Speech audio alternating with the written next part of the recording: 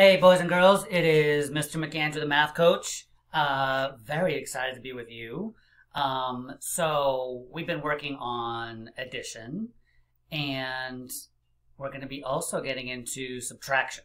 All right, and looking at ways in which um, actually those two things kind of go together sometimes. I know they seem like the opposite, right? But you can actually, with subtraction, you can actually sometimes use addition to help you with the subtraction. Um, anyway, so we'll get into that. Um, so yeah, we'll be doing some uh, base 10 blocks, right, using these guys, which are super awesome, super good for understanding math. Um, not the fastest tools in the world, but very good for understanding. So that's great. Uh, we'll be drawing some of those and doing some number lines. So, um, all right, so very excited. Um, so let's get started. Uh, but first, what I want to talk about, I want to talk, spend a few minutes just talking about what is subtraction. Okay, so you're probably like, well, Mr. McAndrew, we already know that. It's like when you take something away, right? So that's one, there's actually two ways of thinking of subtraction that I want to discuss. One way is probably what you're thinking of, which is you take something away, right? So if I have nine, uh, let's say nine, take away three, right? Nine minus three all right, let's get this out of here. Sorry. Okay. Um, so I have nine cubes here, nine connecting cubes. So in this case, if I took away three, one, two, three, right? I took them away. They're gone. I don't know. Maybe they were like uh, muffins and I ate them or something, okay? So I had nine muffins. I ate three. How many are left? Well, we can count one, two, three, four, five, six. So we know that nine take away 3 equals 6. Okay? So that's the way that you probably think of it most of the time. Right? Or if I had, let's say, 7 minus, let's say, um, 5. Right? So let's say I have 7 um, um, cookies. These are cookies. And I take away 5 of them. One, two, three, four, five. And I eat them. All right? How many am I left with? Two. Okay. So that's called subtraction as as take away. Okay? That's what we're talking about there. You have you have a certain amount, you have five fingers, right? You take two of them away. How do I do that? Let's say like that, and you're left with three. Okay. But there's another way to think of subtraction that can be sometimes very helpful in terms of solving a subtraction problem. Okay, so that looks a little bit different. It looks like this. Um, let me, I'll show you. But but basically, what we're talking about is um, we're looking at not taking something away. We're looking at um, how different are two different things. What's the difference between two different numbers? Or you could think of it as how far apart are they? Okay, so let's take a look. Um, so if let's go back to this problem: nine minus three equals six. Okay, so another way to think of that is um, let me just build it for you. I'm going to build a, a tower of 9 and a tower of 3. Okay, so here, here's my tower of 9. I've got 9 cubes here. 1, 2, 3, 4, 5, 6, 7, 8, 9. And here I have 3. Okay, oh, this one's coming off, sorry. Ah, sorry about that. So we've got 3. Now you're coming off. Jeez Louise. We've got 1, 2, 3. Okay, so in this scenario, what we're looking at is how um, different are these two towers, these two numbers, right? Um, what's the difference between the two of them? So you can see that this tower, right, only comes up to the third one because there's only three. So the difference is six because you've got one, two, three, four, five, six more uh, cubes on the orange tower than the green tower, okay? So the difference between the two of them is 6. I would, in other words, I would need to add 6 green cubes to make them equal, right? Or I would have to take away 6 orange ones to make them equal. Take those, right? If I took away 6, I end up with, now they're equal. So the difference between these two is the 6 here. Okay, so that's why, that's another way of thinking of 9 minus 3 is what is, how far apart are these two numbers? Okay, there's another way to think about this that might be more helpful to you, which is uh, a number line. Okay, so you've all played like um, or number path. You've all played board games, right? You roll it like Monopoly or something. Um, so it's kind of like that. So I'm going to draw a number line. I'm going to move my head up here out of the way, Mr. McAndrew. Um, so I'm going to put it like this. All right, and let's say this is 0, 1, 2, 3, 4, 5, 6, 7, 8, 9. Perfect. Okay, that's 2, 3, 4, 5, 6, 7, 8, 9. All right, so now, in this case, if we were just taking away, like we did before, and we're at the 9, then we hop back 3. We go one, two, three, and we land on 6. 9 minus 3 is 6. Okay, but that's that's taking it away. If we're doing it the new way, the other way, which is finding the difference between the two. Okay, so we've got this is 6, this is 9. What we would say is, okay, well here's 9 and here's 3. All right, now, how far apart are they? What's the distance between the two of them? Right, we already saw with our towers that it was 6. But let's look at it on the number line. So either I could start at the 9, okay, and see how far back I need to do go to get to 3. Like how far would I have to travel to get to 3? Well, I would have to go 1, 2, 3, 4, 5, 6.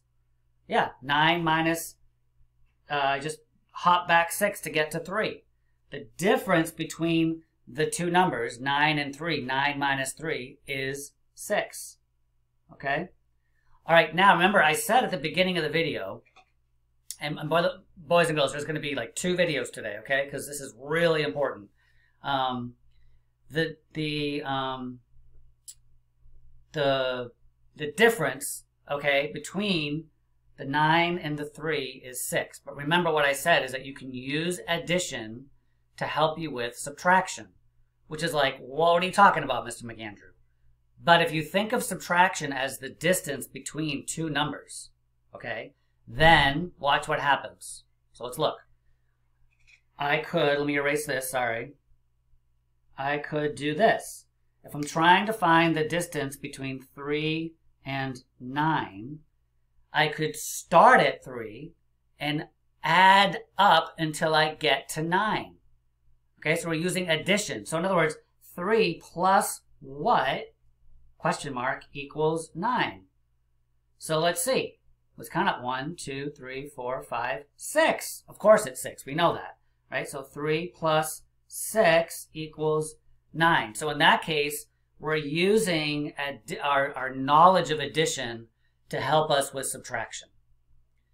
So I'm going to keep coming back to these ideas as we get into bigger numbers. Okay, starting like right now, we're going to start with some two-digit minus one-digit numbers. But I want you to really think about these two types of subtraction and sometimes thinking of subtraction this way as the difference between or the distance between two numbers is really helpful. Okay, so um, in your packets, boys and girls, you have in your math packet, you have a word problem that looks like this. It says, Monday word problem. Please take that out right now. Stop the video. We've been talking about this, right? There's going to be a lot of me telling you stop and pause the video so you can do something. And then when you come back, we can go over it together. If you don't pause the video and do some of the work yourself, that means the entire time you're just watching me. Your brain's going to grow a little bit. But all the research shows that if you don't do some work and you don't get your brain engaged, even when it's kind of hard and you're like, what am I doing? I'm, uh, when you're in that like, what am I doing? I'm trying to figure this out. That's actually when your brain grows the most. It's kind of a frustrating time, right? You're like, well, I, I think I'm doing it right. I don't know. Like, uh, and maybe you get it right. Maybe you don't. It's kind of like, you know, when you get old enough and you start driving, you're like, I think I know where I'm going, but I'm not really sure. Ah, I think I'm lost. Deep breath. You're doing fine. Your brain is just in the process of putting things together. You're fine. There's no problem. Deep breath, do your best, learn from your mistakes, and I promise you, you will learn more than ever. Okay. enough about all that. Take out your word problem and come back in a minute, please. Thank you. All right, so let's look at your word problem. I'm going to read it. You're going to work on it. And then we're going to look at some problems to help you figure it out. Okay, so it says Pedro was watching an ant hill and counted 37 ants. Have you ever seen ant hills like right in the sand or the ground? Like a little mound, there's a little like hole in the middle of it, right? That's where ants live inside there. Okay. It says five of the ants crawled into the hole. So they crawled into the hole. Like, all right, now I can't see them. They're gone. All right. How many ants can Pedro still see? So there were 37. Five of them went away. They crawled into the hole. How many can Pedro still see? Right, that's the question. So this is the time. Stop the video. All right, work on the problem. See what you can come up with. If you can't figure it out, that's okay. We're going to do some work on this right now. Okay? All right, so you do the work. Come back when you're done, and we'll talk about it. Okay, so we have 37 ants, right? Take away 5. That's the, that's the problem. So we're dealing with that first way of thinking of subtraction, which we usually think of, which is take away 5, right? So I'm going to show using um, base 10 blocks first. Okay, so I'm going to set that up for you right now. I'm going to also, I'm going to draw my, here, I'm going to put, um, let's put tens, and we'll put ones. Okay? All right, so, all right, so I have 37, okay, three tens, and seven ones. All right, so we're gonna think, um, uh, we're thinking about this in terms of ants, right? Okay, so we have three tens and seven ones. I'm gonna subtract five. So I'm gonna say minus five here. Now I put five in the ones place because it's just five, right? If it was 25, then I would put, okay, I'll take away 20 over here, but it's, but it's not, it's just five. So I don't need to do anything over here right now. I just take away five ones. So I'm going to do that. I'm going to take away one, two, three, four, five. So I take those away, right? So I had seven. I took away five. And now how many do I have? I have two, right? Do I need to take anything away over here? Nope. So I still have 30 here. So my answer is 32. All right, is that the answer that you got? Okay, so this is a pretty easy way of subtracting, right? All you have to do is take away some of the ones and you're all set. Okay, so let's look at a different type of problem. All right, so boys and girls, for the rest of the video, what I need you to do is get out your base 10 pieces, okay, and your marker, eraser, and dry erase board. Okay, so you need to get those materials um, so this is a moment when you need to stop the video to get what you need. When you have your materials, which is everything that I'm showing you here, then you are ready to get started. Okay, so please get that now. Stop the video and then hit play when you've got your materials ready to go. Okay. All right, so you should be all set. What I would like you to do, okay, and then we're probably going to have to finish this on the next video because um, once 15 minutes is up, these videos, they just end, is on your dry erase board. Okay, you, you, if you put blank paper inside of it, it kind of shows up better, but you don't have to. Okay, um, what I would like you to do is um, leave a little bit of room at the top for a problem. Let's say we're going to do, this time we're going to do, um, uh, let's say we do 48 minus 6. Okay? And then let's write down tens. And then write down ones. Leave yourself more room for the tens place.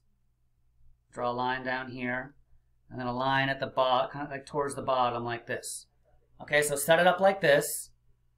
All right? And then what I want you to do is I want you to put down, is I want you to show the number 48 here. So how many tens and how many ones. All right, once you've done that, then you can go to the next video where we're going to pick up. Okay? So I'll see you on the next video in a few minutes once you've, oops, once you've shown the, the number 48 here. Okay, I'll see you in a minute. Bye-bye.